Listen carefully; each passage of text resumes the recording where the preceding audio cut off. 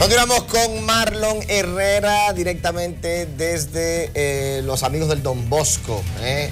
Él es el gerente general, de gerente ejecutivo de lo que es esta institución que ha hecho un trabajo increíble en nuestro país eh, por tanto tiempo. 30 años haciendo una 30 labor años, 30 increíble. Tú sabes que te quería preguntar, para los niños que están en la calle, que por ejemplo tienen ciertas debilidades, o sea, eh, mencionamos por ejemplo oler cemento y hacer un sinnúmero de cosas que algunos de ellos hacen. ¿Ustedes tienen programas especiales para estos niños que necesitan una ayuda extra? Así es, así es. Nosotros tenemos el hogar, quédate con nosotros. Es un hogar específicamente dirigido a niños que por alguna situación se han quedado a vivir en la calle. Y es una realidad, o sea, en la calle aprenden cosas propias de la calle Sí. y que un niño no está llamado a vivir. Y nosotros a través de nuestros programas ya psicológicos logramos restablecer en ese niño una conducta, vamos a decir, normal. Y hay procesos incluso de desintoxicación Claro, que lo hacemos con algunas organizaciones colaboradoras también. Pero justamente nuestro papel, es nosotros, lograr que ese niño pueda dejar todas esas situaciones que ha aprendido en la calle, que es una manera de ellos sobrevivir, hay que estar Claro, claro. ¿tú me claro. En la calle es fuerte, es difícil, y ellos tienen que enrolarse muchas veces en pequeños grupos, en donde le En dan acogida, pero eso tienen que también ellos pagar un precio muchas veces ¿eh? para estar dentro de ese grupo. Y eso conlleva el que hagan conductas delictivas en la mayoría de los casos. ¿Cómo pero a través de nosotros lo ayudamos a superar esa etapa de su vida. ¿Cómo ha sido la... eh, eh, mencionaste niñas hace un momentito.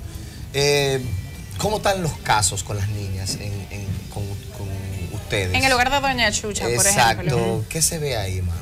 Mira, la realidad de las niñas es diferente a las del niño, porque las niñas quizás tú no las vas a ver viviendo en las calles. ¿eh? Hay. Es más difícil lograrlo, conseguirlo. Nosotros quizás en nuestros años de experiencia hemos conocido dos o tres casos nada más viviendo en la calle. Pero ¿qué ocurre en la mayoría de los casos con las muchachas?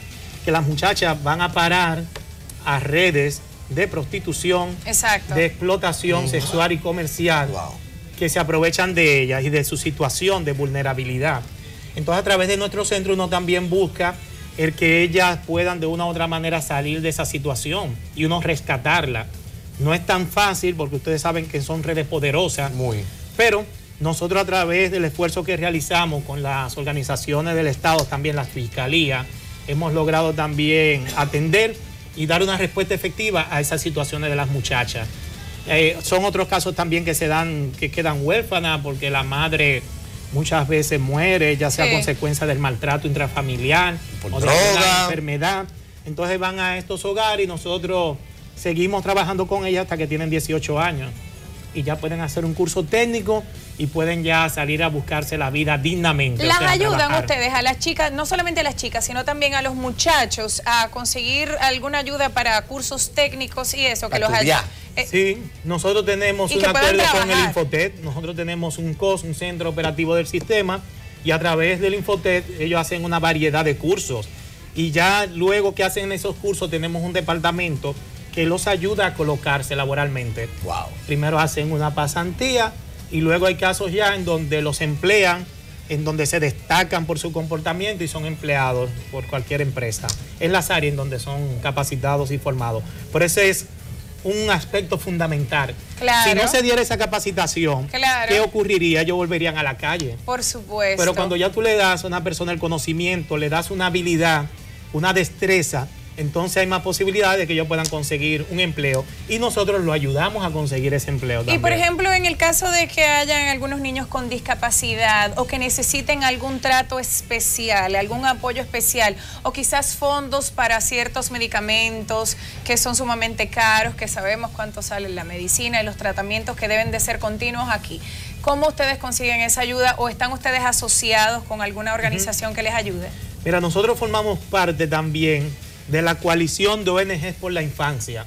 Es una coalición que agrupa a unas 31 organizaciones que trabajan con niñez.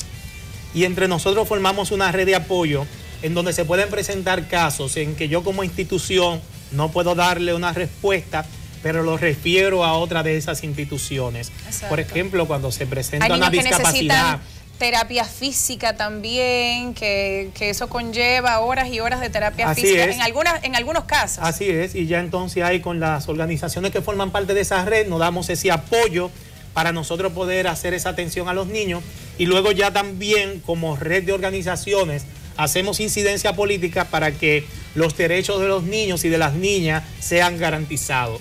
Esa es la mejor manera también de uno apoyarlo, no solo dándole, vamos a decir, el pescado, Claro. sino también En la calle y- y ayudando a enseña- pescar. ¿Pero a enseña a? A toda la sí. sociedad, los empresarios, la ciudadanía, todos somos corresponsables para que estos niños tengan un mejor futuro. Estos 11 centros están abiertos en, en, eh, predominantemente en el norte y en el Distrito Nacional o en el sur o en el este. ¿Cómo ustedes determinan eso? Muy ¿Cómo bien. están repartidos? Nosotros estamos en la geografía nacional. En el sur tenemos un centro que se llama Sur Joven, en Barahona, que ofrece atención a la población O sea, de la zona sur. Podemos decir que el sur es la zona donde menos niños hay en la calle. Al contrario, ¿Y por qué no meten más centros? Uno en Baní, uno en San porque hay otras instituciones que ya están trabajando. Ok. Pero que ustedes son los más monstruos. El sur, por ser justamente una de las zonas más desprotegidas del Eh. país, son muchas las organizaciones que están haciendo un muy buen trabajo en esa zona. Ahí tenemos a Visión Mundial, Sur Futuro, que se está atendiendo muy bien.